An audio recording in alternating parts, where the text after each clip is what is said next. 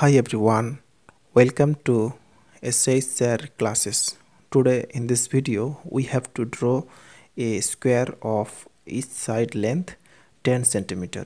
So let's start the video. First of all drawing here the given length 10 centimeter here. So this is 0, 1, 2, 3, 4, 5, 6, 7, 8, 9, 10. So first drawing here the given length 10 centimeter here so this is 10 centimeter length.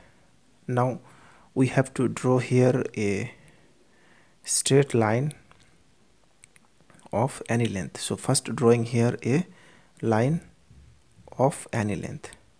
Next taking this end a point and this end b point. Next we have to draw 90 degree angle on the point a by using compass. So putting the compass on the point a and taking any length and drawing an arc by this way.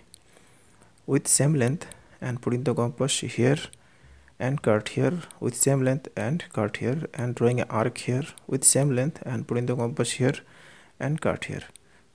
Now joining this side to get 90 degree angle on the point A. So this is 90 degree angle.